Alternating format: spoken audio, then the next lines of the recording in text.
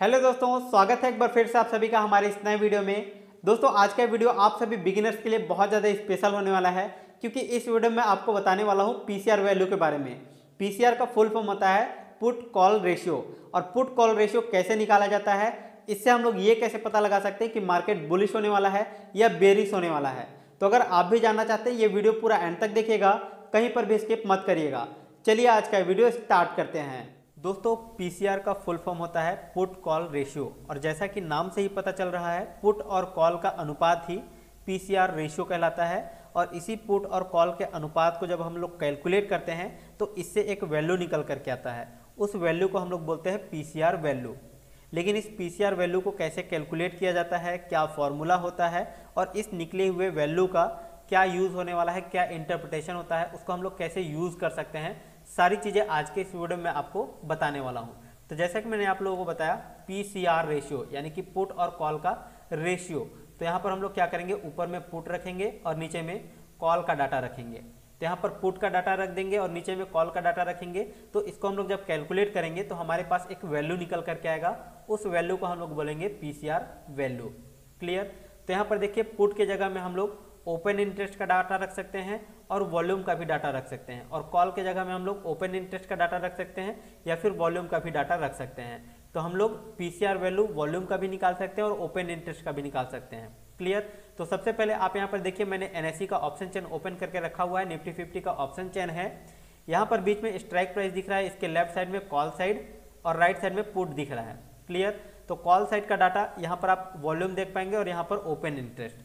वहीं put side में आप यहाँ पर देख पाएँगे वॉल्यूम और ओपन इंटरेस्ट क्लियर तो अभी हम लोगों को क्या करना है? थोड़ा सा इस चैन को नीचे की तरफ़ स्क्रॉल डाउन करना है. सो so, यहाँ पर आप देख पा रहे होंगे आपके सामने कुछ डेटा शो कर रहे हैं. यहाँ पर ओपन इंटरेस्ट का डाटा शो कर रहा है और यहाँ पर वॉल्यूम ये पुट साइड का डाटा है.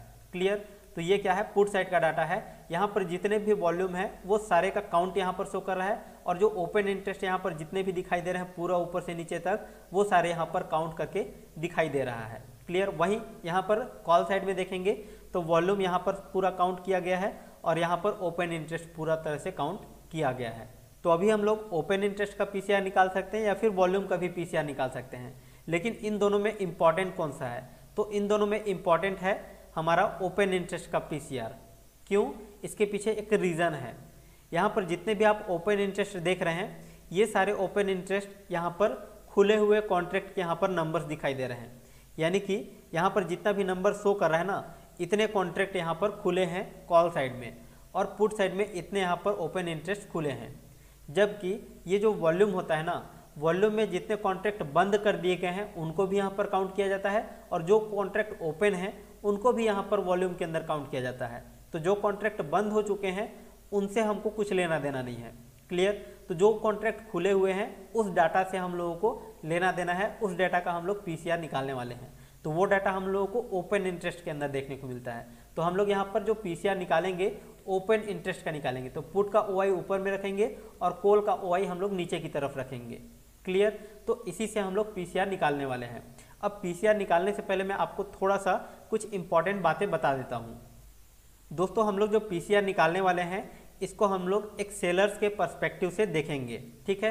क्यों ऐसा? यहाँ पर आप बोलोगे कि जो ओपन इंटरेस्ट बिल्ड हुआ है, वो कॉल सेलर्स और कॉल बायर्स की वजह से बिल्ड हुआ है। इधर भी आप यहाँ पर देखेंगे तो पुट सेलर्स और पुट बायर्स के वजह से यहाँ पर ओपन इंटरेस्ट बिल्ड हुआ है। लेकिन फिर हम लोग कॉल सेलर्स के और पुट सेलर्स के परस्पेक्टिव से क्यों देखेंगे? इसके पीछे एक रीज़न है। वो लोग बिग प्लेयर हैं, उनके पास बहुत ज़्यादा पैसा होता है, वो स्मार्ट मनी है।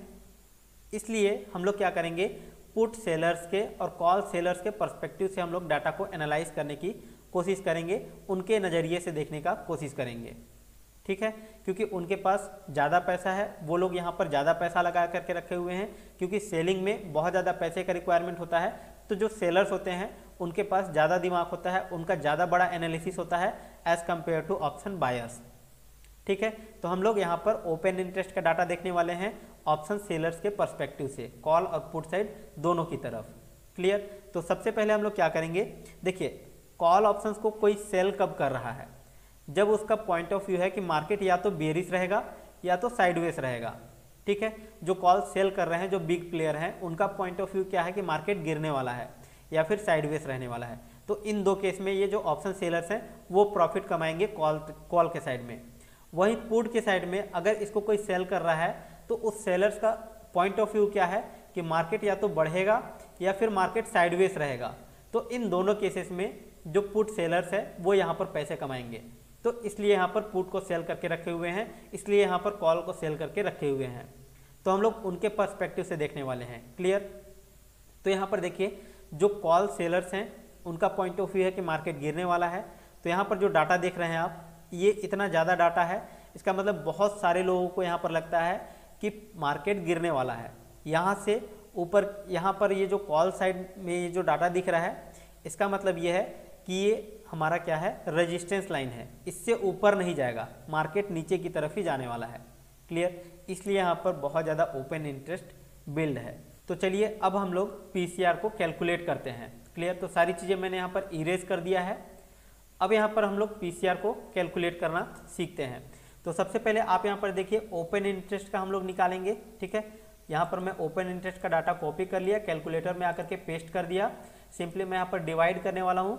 अब यहाँ पर मैं कॉल साइड का भी ओपन इंटरेस्ट बिल्ड कर ले कॉपी कर लेता हूँ। तो ओ डाटा मैंने कॉपी कर लिया है। यहाँ पर क्लियर करके पेस्ट कर देता हूँ। अभी मैं यहाँ पर इक्वल कर देता हूँ। तो यहाँ पर देखिए कितना हमारा वैल्यू आ रहा है? ज़ीरो पॉइंट सिक्स फाइव आ रहा है। क्लियर कितना आ रहा है? ज़ीरो पॉइंट सिक्स फाइव आ रहा है। तो चलिए मैं यहाँ पर इसको नोट डाउन कर लेता हूँ। पी सी आर कितना आया? ज़ीरो पॉइंट सिक्स फाइव आया। इसको हम लोग ज़ीरो पॉइंट सिक्स भी लिख सकते हैं। क्लियर इसका मतलब क्या है? कि मार्केट अप साइड में रिवर्सल हो सकता है। इसका मतलब मार्केट अभी बहुत ज़्यादा डाउन साइड जा चुका है। अब मार्केट कभी भी रिवर्सल ले सकता है ऊपर की तरफ़। इसका मतलब होता है। क्लियर तो आपको ये कैसे पता चलेगा कि इसका क्या मतलब है? ठीक है? तो मैं आपको कुछ डाटा पॉइंट लिखा रहा हूँ। उन पॉइंट्स को आप नोट डाउन कर लीजिएगा। ये आपके लिए बहुत ज़्यादा काम का है। ठीक है? तो पहला पॉइंट ये है कि अगर पीसीआर वैल्यू 1.7 या उससे अधिक होता है, ठीक है? यानी कि 1.7 से अधिक 2 या 1.8 अगर ये वैल्यू आते हैं, इसका मतलब क्या हो सकता है? रिवर्सल हो सकता है डाउन साइड में। रिवर्सल हो सकता है किस साइड में?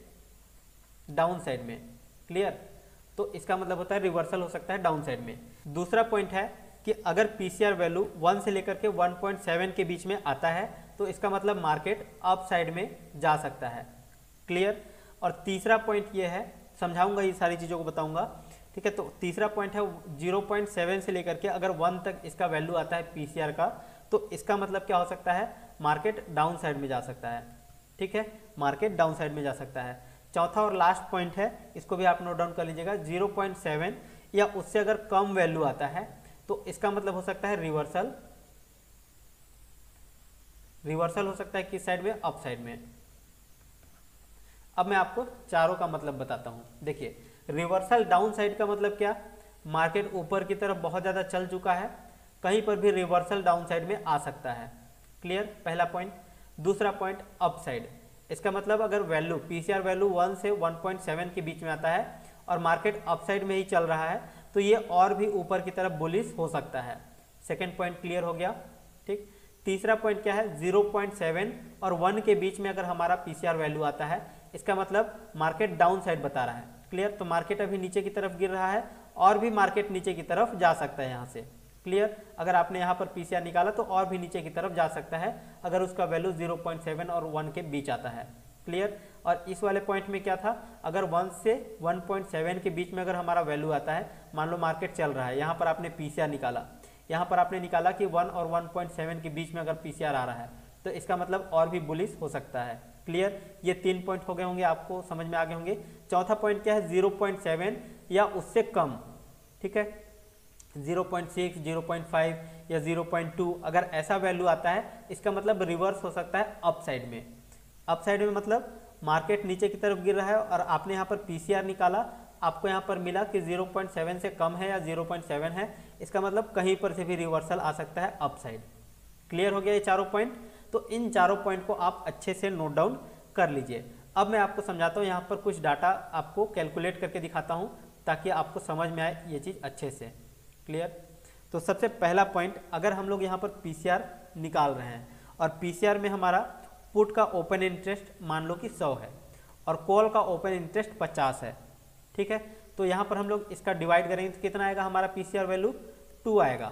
क्लियर पाँच दूना दस। तो हमारा पीसीआर वैल्यू कितना आ गया? दो आ गया। अब यहाँ पर आप देखिए, दो कहाँ पर है? तो 1.7 से बड़ा नंबर है पीसीआर इसका मतलब रिवर्सल आ सकता है डाउन साइड में। मार्केट ऊपर की तरफ़ बहुत ज़्यादा जा चुका है, यहाँ पर हमने पीसीआर निकाला, इसका मतलब मार्केट डाउन साइड में जा सकता है। सेकेंड पॉइंट अगर पीसीआर वैल्यू वहीं अगर मैं इसको थोड़ा सा इरेज कर लेता हूँ। क्लियर तो यहाँ पर देखिए, अगर पीसीआर का वैल्यू कितना आता है, अगर यहाँ पर 100 है, ठीक है पुट का, और कॉल का कितना है 80 है। इसका मतलब इसका वैल्यू कितना आएगा? 1.25 आएगा। जब इसको हम लोग कैलकुलेट करेंगे तो 1.25 आ रहा है। इसका मतलब क्या होगा? मार्केट अपसाइड जा सकता है। कैसे? यहाँ पर देखिए 1.25 किसके बीच में है? तो 1 से 1.7 के बीच में है 1.25 क्लियर 1.2 तो इसका मतलब मार्केट अपसाइड में जा सकता है। क्लियर यानी कि मार्केट ऊपर की तरफ़ जा रहा है। यहाँ पर हमने पीसीआर कैलकुलेट किया 1.25 आया। इसका मतलब मार्केट और भी बुलिस हो सकता है। ठीक है? ये दो पॉइंट समझ में आ गए। अब मैं आपको तीसरा पॉइंट समझाता हूँ। पुट का वैल्यू 80 है और कॉल का वैल्यू कितना है? 100 है। तो यहाँ पर इसका वैल्यू कितना आएगा? 0.8 आएगा। 0.8 आएगा, इसका मतलब मार्केट डाउन साइड हो सकता है। कैसे? यहाँ पर देखिए। 0.7 से लेकर के 1 के बीच में ये वाला वैल्यू है। इसका मतलब मार्केट डाउन साइड में जा सकता है। मार्केट तो गिर तो रहा था और यहाँ पर हमने पीसीआर निकाला तो पता चला कि 0.8 है। इसका मतलब मार्केट और भी नीचे जा सकता है। क्लियर ये तीन पॉइंट चलिए चौथा पॉइंट मैं आप लोगों को समझाता हूँ। ये भी बहुत ईजी है, ठीक? तो यहाँ पर देखिए, अगर हमारा पुट का वैल्यू 50 है और कॉल का वैल्यू 100 है तो इसको अगर हम लोग डिवाइड करेंगे तो कितना आ जाएगा? 0.5 आएगा।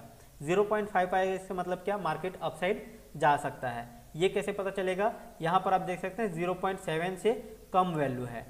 0.7 से कम है, इसका मतलब रिवर्स हो सकता है अपसाइड में। कैसे? मान लो मार्केट नीचे की तरफ़ गिर रहा है और यहाँ पर हमने पता लगाया कि अभी पी सी आ चुका है। बहुत ज़्यादा गिर चुका है पीसीआर वैल्यू इसका मतलब कभी भी अपसाइड रिवर्सल देखने को मिल सकता है। तो आई होप कि आपको ये चारों पॉइंट अच्छे से क्लियर हो गए होंगे।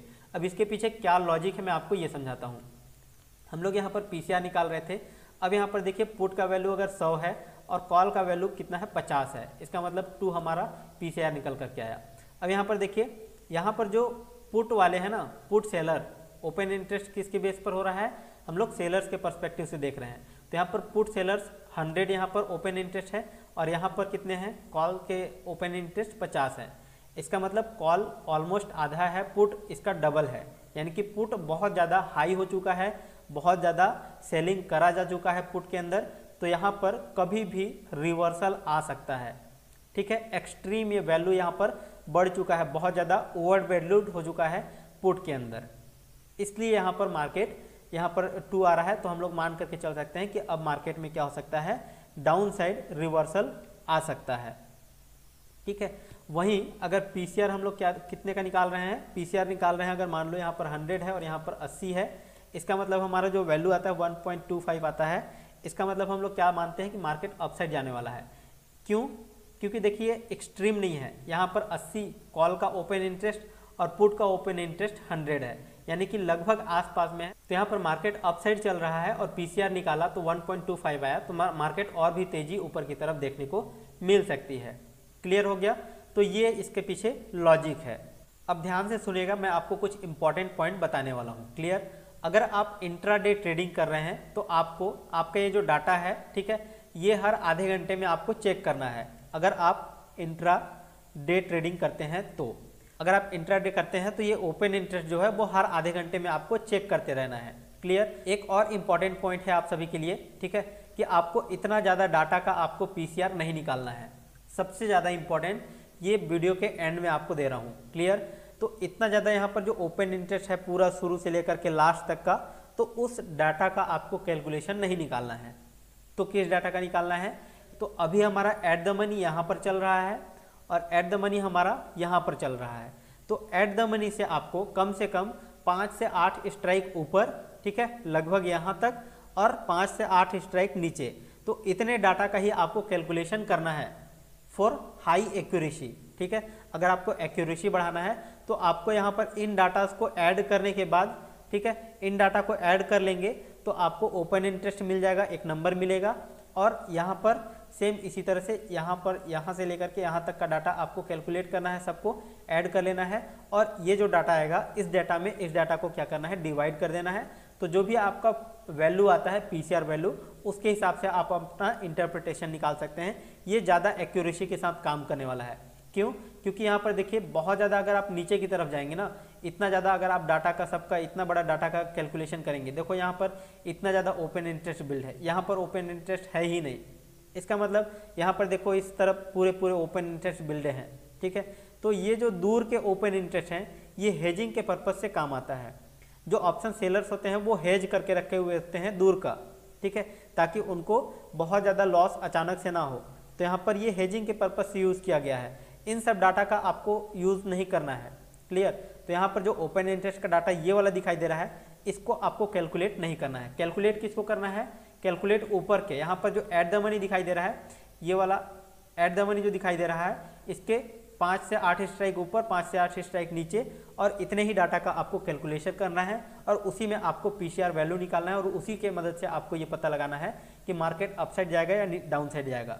क्लियर और दोस्तों, अभी मैंने आप लोगों को जो पीसीआर का चार वैल्यू दिखाया ना, कि 1.7 से ऊपर रहेगा तो क्या होगा 0.7 से नीचे रहेगा तो क्या होगा तो ये कोई पत्थर की लकीर नहीं है। क्लियर इसको हमने अपने हिसाब से प्रिडिक्ट करके निकाला हुआ है कि हाँ मोस्टली इस पॉइंट पर आने के बाद ये होता है। क्लियर अब ये ज़रूरी नहीं है कि मार्केट में हर समय काम करे, ठीक है? तो ये जो नंबर्स हैं, ये थोड़ा बहुत ऊपर नीचे हो सकते हैं, ठीक है? ये कोई पत्थर की लकीर नहीं है। तो आई होप आपको ये जो चार पॉइंट बताया इसके अंदर, वो मेजर पॉइंट आपको अच्छे से क्लियर हो गए होंगे कि कैसे आपको पीसीआर वैल्यू निकालना है और उस वैल्यू का क्या इंटरप्रिटेशन होता है। अब अगर आपको ये वीडियो अच्छे से समझ में आया, पसंद आया तो इस वीडियो को लाइक कीजिए, दोस्तों के साथ शेयर कीजिए। और इस वीडियो से रिलेटेड अगर कोई भी डाउट या कोई भी कन्फ्यूज़न है तो आप चैट सेक्शन में पूछ सकते हैं। फ़िलहाल अभी के लिए इस वीडियो में बस इतना ही। मिलते हैं नेक्स्ट वीडियो में, तब तक के लिए जय हिंद, जय भारत।